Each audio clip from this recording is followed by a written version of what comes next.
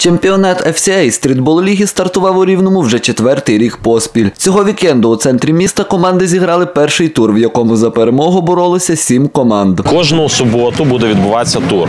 Е, В кожному турі кожна команда бореться за рейтингові очки. Е, Потім вони всі складаються в загальну табличку, і ми е, бачимо вісім кращих команд, які потрапляють за рейтинговими балами саме в фінал. І в фіналі вони розіграють звання чемпіона стрітбольної ліги сезону 2016 року.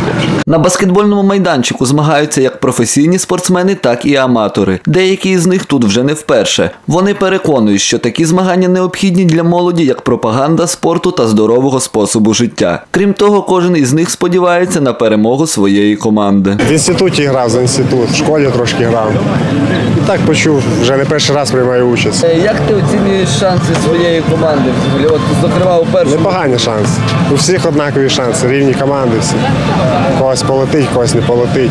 Видовищем у центрі рівного цікавилися не лише баскетболісти, а й люди, які просто люблять цей вид спорту. Анастасія Гриценко сама грає в баскетбол і запевняє, що не пропустить жодної гри. Я дуже люблю баскетбол, тому спеціально прийшла подивитися змагання. Наші рівненські хлопці дуже класно грають і спостерігати це дуже круто. Чим мене прибавлює цей спорт, він дуже швидкий і азартний.